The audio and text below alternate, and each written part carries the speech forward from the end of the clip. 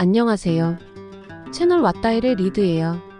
저번 도다리 포인트 영상의 뜨거운 반응과 구독, 좋아요에 진심으로 감사드려요. 유튜브 시작 이후 가장 행복했던 날들이었어요.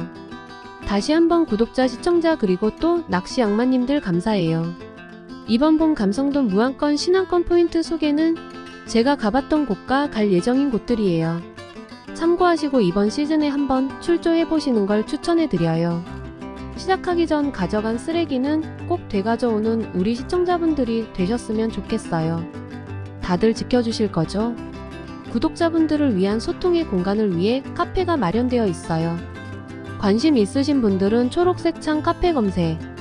왔다Hell. 자 그럼 구독과 좋아요 한 번씩 눌러주시고 let's go.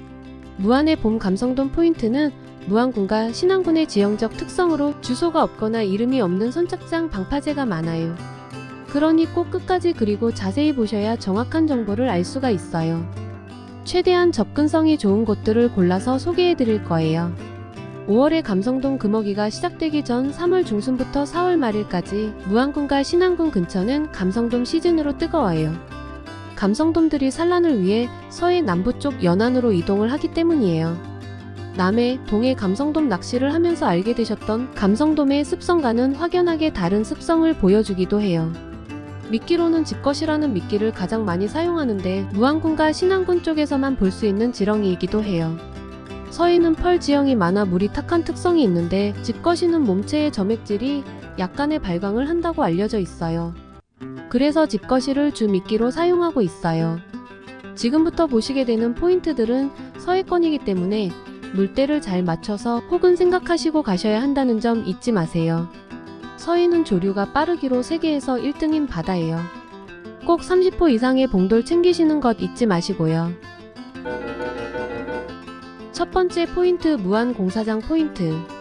몇 번 소개해드린 적이 있는 무안의 국민 포인트, 공사장 포인트예요. 넓은 공터와 빈 컨테이너가 있는 곳인데요. 컨테이너가 있는 자리는 비와 햇빛, 바람을 피할 수 있는 아주 좋은 자리예요. 차를 주차하고 바로 낚시할 수 있어서 최고의 포인트로 주목받는 것 같아요. 이곳은 봄 감성돔 낚시 초보자들에게 강력히 추천해드려요. 노란 표시가 감성돔 원투, 초록색은 찌낚시나 루어 낚시로 우럭과 노래미가 나오기도 해요. 두 번째 포인트 도원 선착장. 이곳 역시 많은 낚시인이 찾는 곳이에요. 주차 후 바로 낚시할 수 있고 바로 뒤에 낚시점이 있어 간단한 채비 용품들을 구매할 수 있어요. 작은 선착장이 있는데 선착장보다는 주차장 쪽 구석 자리가 좋아요. 다리 및 포인트라 조류가 일반적인 물때보다 빠르다는 것도 잊지 마세요. 주변엔 해상 펜션도 있어서 가족들과 함께 펜션을 이용해 보시는 것도 추천해드려요. 세 번째 물바위 끝 포인트. 이곳은 해안 쪽으로 나와 있는 곶부리 지형이라 물때와 상관없이 낚시가 가능한 곳이에요. 철탑 포인트라고도 알려진 곳인데요. 초보 낚시꾼분들은 절대 접근 금지. 밑걸림이 있어 지옥을 맛보실 수도 있어요. 어려운 낚시일수록 대물이 온다고 했던가요? 밑걸림을 극복할 수 있는 실력이 있다면 추천해드리는 포인트. 50cm 감성돔이 나온 곳이에요. 중수 이상 분들 도전 앞으로.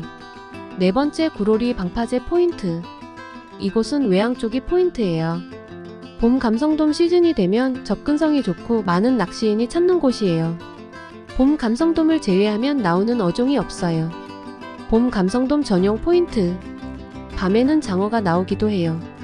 사진에 보면 낚시 금지라는 푯말이 보이는데 이것은 아래쪽 작은 방파제 쪽을 말하는 것이에요. 작방 쪽은 양식장과 조업으로 낚시하셔도 안되고 낚시에도 나오는 것이 없어요. 큰방 외양 쪽에서만 감성돔 얼굴을 볼 수 있는 곳이라고 하네요. 저도 가볼 예정이에요. 다섯 번째 구도 선착장 포인트. 무안가 신안은 구석구석에 선착장이 많은데 그런 곳 중에 한 곳이에요. 목포와 가까워 목포권 조사님들이 자주 찾는 곳이기도 하고 이곳도 주차 후에 포인트까지 거리가 가까워 접근성이 좋은 곳이에요. 구도 선착장은 두 곳에 포인트가 있는데요. 선착장 옆쪽에 갯바위 포인트와 지도의 오른쪽에 B포인트라고 된 곳 이렇게 두 곳이에요. B포인트는 간조에 들어가거나 만조시 에는 산을 넘어가야 해요. 물때를 확인하시고 오시면 좋아요. 여섯 번째, 영해 공원 펜션 포인트. 펜션 앞에 이름 모를 방파제가 있는 곳이 포인트예요. 건너편은 소개해드린 구로리 방파제가 있고 물길 위쪽으로는 톱머리 방파제가 있어요. 무안은 홀통 같은 구조로 되어 있는 해안이 많은데 홀통 지형의 포인트에서는 감성돔들이 곧잘 출몰하기도 해요. 그래서 톱머리나 오류리의 홀통이 유명하기도 하죠. 이곳 영의 포인트는 그 홀통 지형의 입구 같은 곳이에요. 이곳은 유튜버분들도 방문을 많이 해서 익숙하신 분들도 계실 거예요. 그만큼 유명한 포인트라고 할 수가 있어요. 방파제 끝쪽만 포인트이며 장타 위주의 캐스팅이 더 유리한 곳이에요. 일곱 번째 도리포 선착장. 이곳도 접근성이 좋은 곳이에요. 도리포 유원지 끝쪽에 있는 작은 슬로프가 있는 곳이에요. 슬로프 옆쪽으로 넓고 평평한 갯바위가 있는데 그곳이 포인트예요. 들물이 되면 물이 차오르니 적당한 때에 나오셔야 해요. 최근 포구공사로 넓고 깨끗한 주차장 시설이 생겼는데 낚시도 할 수 있고 차박도 가능해요. 공사가 끝나서 새로 생긴 주차장 쪽 포인트에서는 뭐가 나와줄지 아직 미지의 포인트예요. 역시 다리미 포인트. 조류가 센 곳이에요. 물때 확인.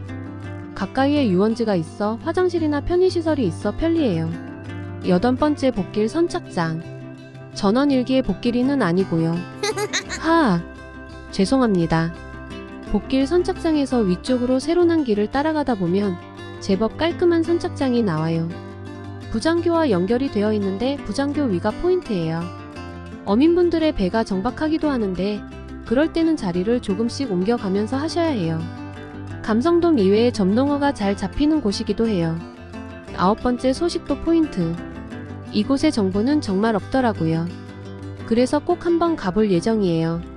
이곳 역시 지도상으론 접근성도 좋고 앞쪽에 물길이 있어 감성돔이 나올 것 같은 곳이에요. 위쪽에 양식장도 있는 것으로 보아 물때와 상관없이 낚시도 가능할 것 같아요. 저보다 한 발 빠르게 탐사를 가보신 분이 계실까요? 저에겐 이곳은 미지의 포인트. 열 번째. 유명하고도 유명한 바로 홀통이에요. 방파제에서도 낚시하시지만 이곳은 빠지로 유명한 곳이에요. 빠지란? 해상 좌대와 비슷하지만 규모가 작은 좌대를 여러 개 바다에 띄워놓은 거로 생각하시면 돼요. 빠지와 더불어 선상 낚시도 많이 나가는 곳이기도 해요. 카고원투와 흘림찌 낚시를 하는데 역시나 카고 낚시에서 좀 더 좋은 조가가 있다고 해요.